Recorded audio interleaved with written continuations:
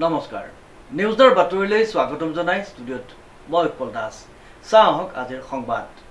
এটি অগ্ৰণী সামাজিক সাংস্কৃতিক অনুষ্ঠান ৰদালি ছ'চিয়েল আৰু কালচাৰেল অৰ্গেনাইজেশ্যনৰ উদ্যোগত একৈছ আগষ্ট সোমবাৰে ঐতিহ্যমণ্ডিত যোৰহাট থিয়েটাৰ হলত অনুষ্ঠিত হ'ব fifteenth Rodali award two thousand twenty three.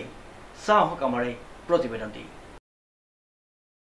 এটি অগ্ৰণী সামাজিক সাংস্কৃতিক অনুষ্ঠান ৰদালি ছ'চিয়েল আৰু কালচাৰেল অৰ্গেনাইজেশ্যনৰ উদ্যোগত একৈছ আগষ্ট সোমবাৰে ঐতিহ্যমণ্ডিত যোৰহাট থিয়েটাৰ হলত অনুষ্ঠিত হ'ব fifteenth Rodali award two thousand twenty three উল্লেখযোগ্য যে সাংস্কৃতিক তথা শৈক্ষিক নগৰী যোৰহাট চহৰস্থিত ঐতিহ্যমণ্ডিত যোৰহাট থিয়েটাৰ হলত অনুষ্ঠিত হ'বলগীয়া ৰদালি বঁটা প্ৰদানৰ লগতে এটি বাৰেৰহণীয়া সাংস্কৃতিক অনুষ্ঠান উপভোগ কৰিবৰ বাবে অধিক আগ্ৰহেৰে বাট চাই আছে যোৰহাটবাসী ৰাইজৰ লগতে সমগ্ৰ অসমবাসী ৰাইজে।